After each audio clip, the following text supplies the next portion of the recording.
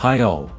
Today I will compare native AMD FSR versus lossless scaling FSR on Horizon Zero Dawn.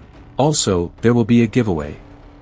As you know, Horizon developers has implemented AMD FSR into their game, this feature can help to increase FPS for low-end GPU users. We will compare FPS and image quality. Game graphic settings are set to 1080p Ultra.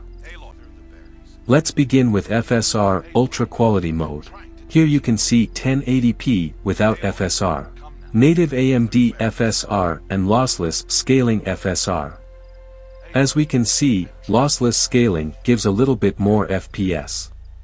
But speaking about quality, seems that native AMD FSR has a little bit better quality, it is very small difference, I do not know if you guys can see any difference on YouTube. Here is a closer look to image.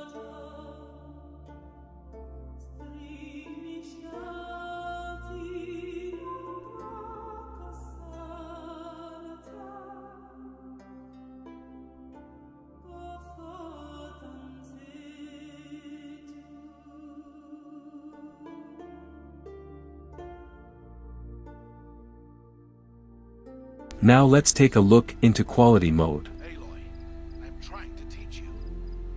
Here lossless scaling gives even more FPS and seems to use less CPU power. FPS difference is quite big. Let's take closer look. It is very hard to tell which one image quality is better. I have compared various screenshots for 20 minutes and I think that native AMD FSR gives slightly better image quality.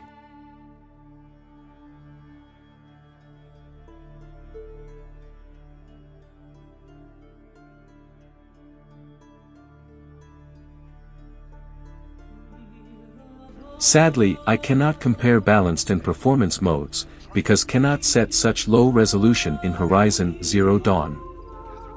In conclusion, we can tell that, native AMD FSR gives slightly better quality. But lossless scaling gives better performance.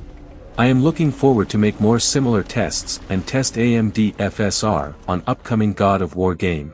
Like this video, read giveaway rules in the pinned comment, enjoy your weekend and let's meet on my next video, bye.